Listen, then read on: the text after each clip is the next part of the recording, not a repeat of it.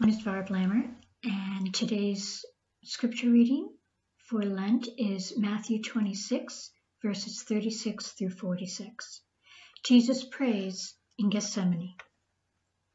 Then Jesus went with them to a place called Gethsemane, and he said to his disciples, Sit here while I go over there and pray. He took with him Peter and the two sons of Zebedee, and began to be grieved and agitated.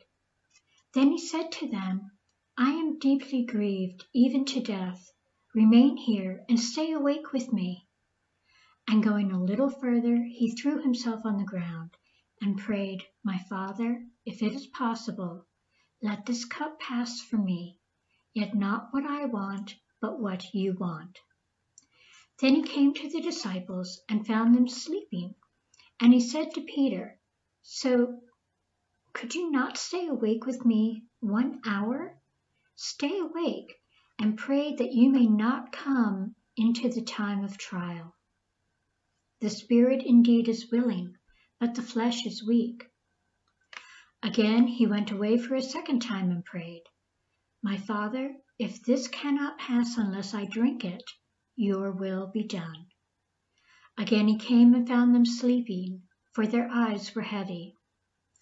So leaving them again, he went away and prayed for the third time, saying the same words.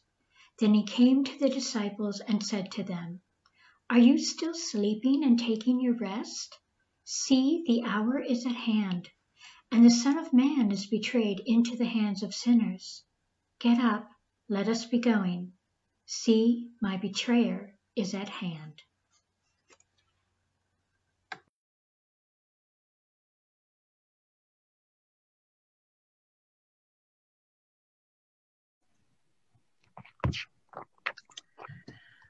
Thank you all for joining us and for the Bible reading this morning. And we are trying something new today, and we are trying a conversation. Um, and the conversation will take place between Marcy and Pastor Kathy and myself about this specific Bible reading. And we want you to think about what are your thoughts? How do you feel when you read this Bible reading? So, good morning, ladies. Good morning. Morning. and we look at this Bible reading, and I think the first thing that we see is Jesus with his disciples, and they Jesus has taken them up to Gethsemane, and he has asked them to sit while he goes off and pray. How did that make you feel? It, for me, this is the start of a very lonely journey that Jesus is taking because where he taught and healed and all that stuff with everyone else, this part of the journey now is just his. And and he's he's asking the disciples to be with him to to be supportive and and they can't they can't they can't do it. They fall asleep and I think Jesus coming back and seeing that he has asked them to wait for him, I don't think that was his expectation that that they would decide at this point it's, you know, time for naps. and I think he was a little bit discouraged. Yeah. And really, you know, what strikes me most about this, um, and it's something for us to consider too on our Lenten journey, is how Jesus always went off to pray. So before any decision making, before anything big in his ministry, there are many scripture verses to support that Jesus went off alone to pray and to contemplate and to seek that solace and that relationship with God. And Jesus has asked throughout the scriptures for his disciples to do the same you know, as an example, Jesus wanted his disciples to pray and to seek God first. Um, and in this case, Jesus is asking that of his disciples, you know, stay awake, pray. You may not be with me, but pray, you know, think about this, think about what's happening. And they don't do it. They don't do it. Mm-hmm. And, and, you yeah. think about, does that happen in, in our lives? You know, do we ask something and someone doesn't do it? Or or they fall asleep on us. We do, and you know, in psychology, don't we call that like denial? Like if you're asking somebody to do something that they don't want to do or participate in a life activity like a funeral or a death, and they they don't step up because they're in denial that that happened. And I think we might see that in the disciples that Jesus has prepared them for this moment. He's told them it was coming. You know, he's given them plenty of warning that he is not going to be there forever. And the sleeping is, I think, a part of their inability to accept what's going to happen. Mm-hmm. Or from a disciple thinking, if this, you know, follows along with, I've just done the Last Supper with Jesus, a big meal, um, a lot, a lot of, you know, prayer and trying to figure out what he was trying to tell me at that time. And then he takes me out into the fresh air, um, you know, asks us to wait for him. And it's i'm tired I, I don't you know i'm i am tired because i've eaten a big meal i'm emotionally tired and i fell asleep and i think you know i think disciples you know they they didn't know what else to do. And sometimes i you know i feel that way. I don't know what else to do. Yeah. I think modern disciples would get out their phone. And nowadays. texting right? Yeah Maybe we can yeah. play about texting disciples and what they text each other. Or else they're googling you know what do i do now I do you know? now? Right. I think having a nervous breakdown what do we do now? Yes. Yeah. So and yeah. and that that might have been so they followed him and he was a teacher and he he he taught and he preached and he healed. So there was a an element of mystery about him right? But the whole time in your head you've got to be thinking is is this for real? Right? I mean is it is it really real or has this been set up?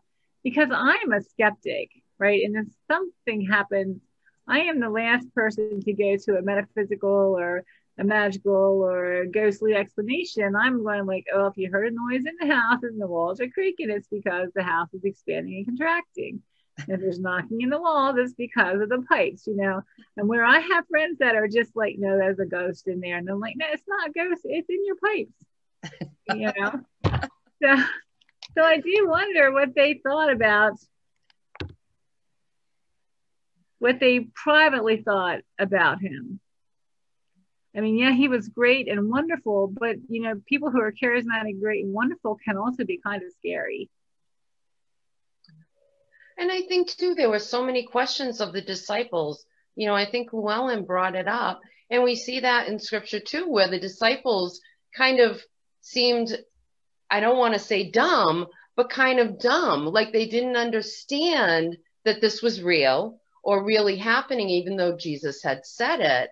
But also, you know, the Old Testament scriptures, everyone thought Jesus was going to be this, this radical, um, leading the army, mm-hmm. you know, to to conquer the Romans and and have their land back, and that Jesus would be that kind of Messiah, not the Messiah that would die on the cross. So even though you know Jesus was telling them, or in, in the mysterious language of Jesus that they often didn't understand, they probably were in some form of denial. Yeah. And yet Jesus is saying, you know, stay awake, be with me as he faces this darkest hour, a time of need, a time of doubt. And yes, how often do we go through the same that we need a friend, we need somebody there, but yet, like Llewellyn is saying, you know, we get tired, we, you know, we're full from a big dinner and whatnot. Um, but yet it's a call to discipleship Mm-hmm. So when we need our friends and we need someone with us, it's almost like God reaching out to someone in discipleship to be there. So that must have been a huge disappointment for Jesus um, to not have to have his friends fall asleep and not be there for him when he needed them the most, mm-hmm. the most. As like, a, you know, like any le- like any leader, you're trying to get your people, you know, ready to take over for me. Yeah. Yeah and and feeling like, okay, I finally got to the point, you know, all the things that we've been through together, I finally got to the point where I have these 12 people who are going to be able to take over for me. And then they fall asleep on me. Yeah. right. It's like the two step forward, one step back. Mm-hmm. Like they come along, they come along, they come along, and all of a sudden you get them right on the precipice of of becoming the teacher themselves, and they're like kindergarten. I'm a nap. I'm a nap. And I How's- find it in. Oh, go ahead, Llewellyn. No, go ahead, Mass. Oh, I, I was just thinking too, you know, I'm always thinking about journeys. Um, I find it interesting that we do start the journey with this particular scripture um, because it kind of is like a foreshadowing. Like if this was a movie, it'd be a foreshadowing of what the disciples do all through the journey to Jesus's death on the cross. They disappear, you know, Jesus gets betrayed, he gets handed over. Um, so it, it's almost that foreshadowing in a movie, you know, Yeah. of how they will react through the rest of the journey. Mhm. And and I see, you know, the human side of Jesus in this passage too, where, you know, he's going to his father and and saying, you know, really do do you really have to do this? Like do do I really have to die in order, you know, in order for your kingdom to continue? And it's scary. Um, and you're thinking he, you know, I see him thinking that um, you know, of course, here's my movie mind going, you know, thinking that I have these people behind me that you know that are going to be there, and and my father really wants me to do this, and and he goes back a number of times and says, really, you know, do I have to take this cup? Do I have to do this now? Um, so I see inside of Jesus this, you know, the scared. He's scared Yeah. that this is going to happen, and I, I'm not quite sure what gives him, you know, the ability to go forward. I think he's he he really surrenders to God, and and in in that way he re- surrenders then to the authorities around him, and you know he um, I don't know how fully he he understands what's going to happen either. I mean, he tells the disciple, the Son of Man, you know, until he rises again, but I don't. I mean, that kind of language could be a rise in power. It could be a you know it isn't necessarily a, a risen from the dead kind of thing. And so you don't know. So even though the disciples don't really understand stuff, you have to wonder does Jesus really understand what's going to happen?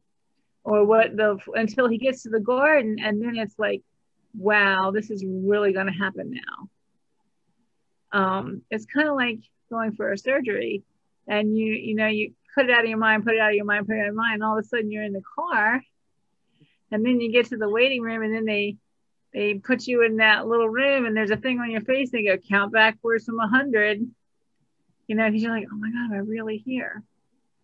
Um, and yeah, you really are here now. What do you do? And so what he did was just like we do when we have the, the mask on, is we surrender. Mhm. So how how do we as present day Christians like how how do we stay awake and and how are we alert to what God wants us to do? How do we find that? That's an excellent question. How do we stay awake and how do we know what God wants us to do? Well, there's the prayer thing. Yes. The prayer thing. Prayer, there's the prayer thing. and Mar- Marcy, maybe you can address this with your spiritual direction hat on. Well, that those were the thoughts that I had was when Jesus said the spirit is willing but the flesh is weak. If we take his example in the scripture and throughout the scriptures of him going off alone to pray, to surrender, as Pastor Kathy said, and to contemplate, we find a peace and we find a rest and we find solutions as Jesus did to have that peace to move forward. So I think that it's so important for that rest, contemplation, solitude, um, to be able to help us move forward, but also to keep our relationship with God. because when everyone else had left, Mm. Jesus still had God, and Yeah. we too Mhm. still have God, Mhm. even though we can be betrayed, left behind. God never leaves us behind. Right, Emmanuel, God is with us. So I think it would help our bodies to be stronger and in more in line with the spirit if we did find that rest and contemplation. As a spiritual director's perspective. Wow, that that just shoo, yes. and and that's hard to do today because we are our schedules are packed, right? And when you're done and you get home at eight o'clock, you're like, oh, I don't want to do anything, right? But there's still laundry and dishes and dinner, so you know it it's hard to find that. So we actually have to make the time to do that, to pray, and we have to be, we you know, like the the fle- you know, maybe you do really want to go take a nap, but you're like, okay if I just pray for 10 minutes, then I'll go take my nap, as opposed to I'll take my nap and then I'll get up and pray because that mm-hmm. rarely happens. So, and and I think you made a good point there that you know being in prayer is is individually based and and how long do you have to put into it or do it you know it can it can just be I, this in the morning when I get up I have my cup of coffee and I get a daily devotional and I read that devotional in the morning. Sometimes they talk, you know, they speak to me, so I think about them more. Sometimes I'm like, oh, that was nice, delete. but, you know, it, it, it, gives me that time to focus. Um, and I'm sure other people have, you know, other practices that they do, that they have specific times that they've set aside. Um, I know Pastor Pat, he used to talk about his specific time in the morning that, you know, he would he would sit down with either a devotional or his Bible or a book he was reading and, and he would do that. And I was always in awe of that, like, whoa, you know, that would be great. Let's have that time to do that type of thing. But I think everyone has their time. Yeah. And for me, you know, I take little bits throughout the day. So yes, I'm busy. Yes, I work long hours and I know Pastor Kathy does too you know, and so I just try throughout the day, like I'll take 10 to 15 minutes in prayer time, um, any time of the day. So if I'm, if my body is starting to feel heavy, um, tired or stressed, I have a prayer chair. So I sit in the prayer chair for 15 minutes and pray. And you know, all of that lifts, all that body stuff lifts away. Um, so I find that helpful. Or I go outside and take a 10 minute walk you know, and I just listen to the birds. And I've I've said this before, but there it's sometimes it's just taking those little moments to feed the spirit that help the body yeah. and put you back in line. Yeah. Good point. So um, I think the the last thing that I got out of this, or, or a note that I had written down to myself after hearing this Bible reading, was about foresight and you know how a situation's going to end, and you don't always know that. Right. Probably most of the time you don't know that, um, but it's it's having the the patience to look for it and, and that falls into the prayer time too i'm sure. You know but if something you know the situation is going to happen in your life and you don't know how it's going to end but sometimes it's scary you know. Pastor kathy talked about going in for an operation and you don't you know you don't think about it till you're right there. Um, sometimes you can see it unfolding in front of you. Um, but i think foresight is something that you know jesus showed us in this pa- in this passage here Well, ladies, this has been a really terrific discussion. Does anybody have anything else they want to add? I think I'm good. All right. So, what do uh, we said that for for everybody at home, um, we had a little line picked out, and that was um, what what do you think? Let us know what you think about this passage and how you understand the disciples and Jesus. Um, and let that be part of your spiritual journey. Would you pray with me? Holy God, our Father and our Mother, we thank you so much for our community, for your for your um, stories in the Bible that help us to relate to both God and each other. And we thank you for your everlasting love and for your everlasting presence. In Jesus' name we pray. Amen. Amen.